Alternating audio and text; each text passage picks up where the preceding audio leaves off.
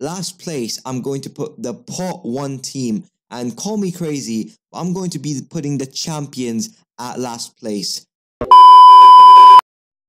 Hello ladies and gentlemen, welcome back to another video on the Football Fanatic channel and today is the day. The Champions League is back, group stages are back, which can only mean one thing, predictions. We're going to be going through each group's top two teams I believe will advance into the knockout rounds. Team I predict to go down to the Europa League was the team I predict to go out of Europe as a whole. We're also going to be predicting the player of the group, the top scorer of each group, as well as the highlight of the group, the player to look out for, the team to look out for, or the fixture to look out for. So without further ado, let's get right into it.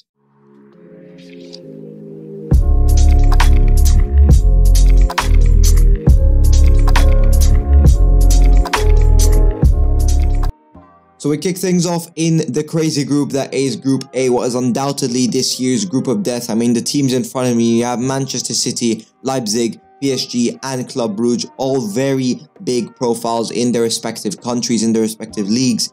Well, for me, PSG dominate this group. I think with the transfer window they've had, the players they've brought in, natural born winners in the likes of uh, Achraf Hakimi, Lionel Messi, as well as Sergio Ramos. I don't think there's any doubt PSG win this group. The games against Manchester City will be tough, but in the end, I think they will edge it. I think for me, the standings of this group will be PSG at number one, Manchester City at number two, Leipzig dropping to the Europa League, and I don't think there's any doubt Club Brugge is the weakest team on this table. Hence why I think they'll exit Europe this season fairly early.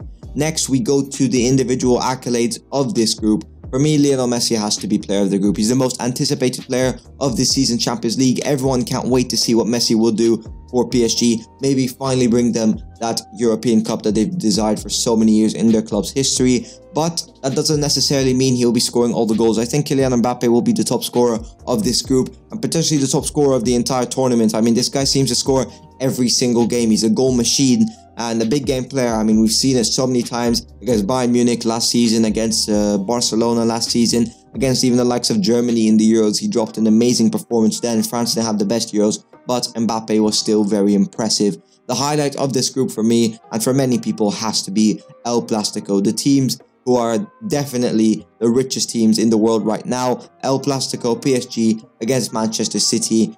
It'll be a tight game. I think PSG will probably win it by one goal margin or maybe by two goal margin, but PSG are the strongest side for me in Group A.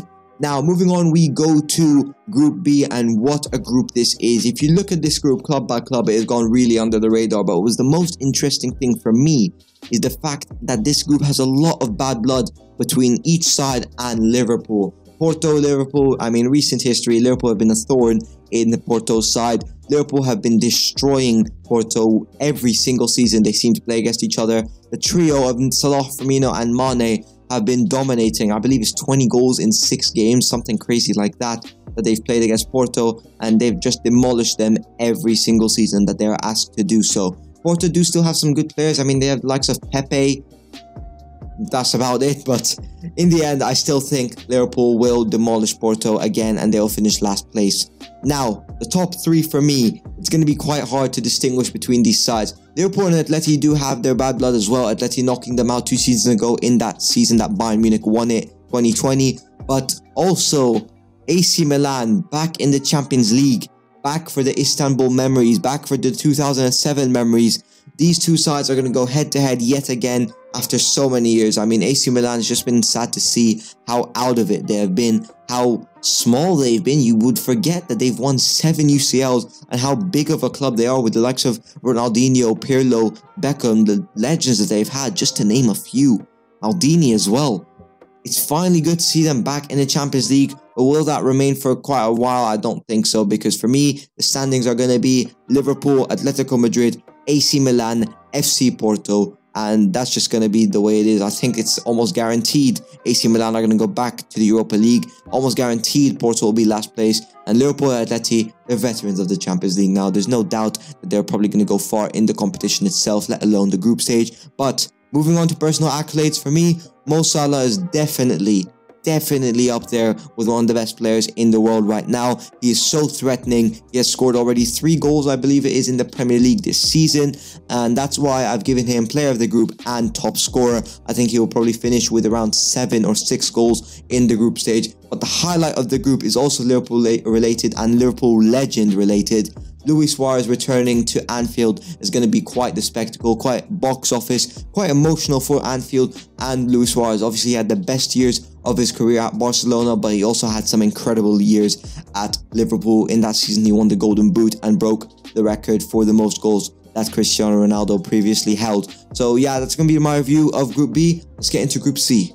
So, what an interesting group we have in front of us right here. I think that there's not much to say based off background knowledge about the team performances on the pitch, but there's a really big thing I want to speak about in this group, and I'm going to skip through this. I'm going to get to the ranking straight away. I'm going to go Dortmund, Sporting, Ajax, and Besiktas. Ajax back in the Europa League. Sporting second, which might surprise a lot of people, but they are the Portuguese champions, and I think with the young talent they have, they can go far in this tournament. But now, going to what I want to speak about, the most special thing about this is the big chance that Haaland has to take his career to the next level. I think he's going to go on a goal fest. He's a goal machine already. And with the teams he's playing against here, I think he's only going to maximize that. I think he'll be the player of the group, the top scorer. But the highlight of the group is something very interesting.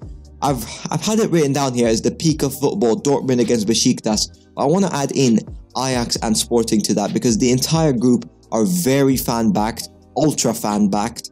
Uh, the atmosphere is crazy, and these four teams produce the loudest decibels in a football pitch. I mean, the atmosphere for these young players is going to be difficult. I want to see how likes of Haaland, Sancho, Sancho, Jude Bellingham, Gio Reyna, uh, in Sporting, you have the likes of Pedro Gonçalves, you have the likes of uh, Palhinha, Besiktas, I obviously don't know much about, and obviously Ajax are world renowned for their young talents like Antony, like David Neres. But anyway, it's going to be crazy to see the atmosphere in every single game. You have four teams who have fans who are football crazy, but for me, I still think Dortmund are going to breeze through this. I think Sporting will probably have a tough time. I think they'll just qualify. It's between them and Ajax. I wouldn't be surprised if Ajax finish uh, second, but I do think Besiktas do finish at last. So yeah, it's going to be my review for Group C. Moving on to Group D. Now it's time to talk about the biggest club in the world in Group D, and I've titled it as Deja Vu because if you haven't seen it already, Real Madrid are in the group again with Inter Milan and Shakhtar, only missing Borussia Dortmund, uh, sorry, Borussia Mönchengladbach to replicate the group last season, and they've actually been replaced by Moldovan side debutants in the Champions League, the first ever UCL for this Moldovan side, Sheriff FC, who I actually like the look of. I actually think I w- I wouldn't be surprised if they don't even finish. I think they'll actually make it to the Europa League, which brings me on to my point for the standings, but just before we get into that, I just want to talk about Real Madrid's Champions League dominance. They are the most decorated club in the competition, and as we know, Real Madrid have actually not gone to the final since they've lost Cristiano Ronaldo, and it's definitely been a downfall since they've lost a player like that. When you lose a legend like that, you're definitely going to have some missing holes, which has actually been filled right now. Well, not filled, but is being filled by Vinicius Jr., a young player who can maybe even replicate what 20% of Cristiano Ronaldo did in his career for Real Madrid. I mean, that would be brilliant for the young star to replicate what Cristiano Ronaldo did. At least 20% would just be perfect for Real Madrid fans. Vinicius has actually had a brilliant start to the season. I believe he scored four goals in three games. I believe I'm right saying that. And he's top scorer of La Liga.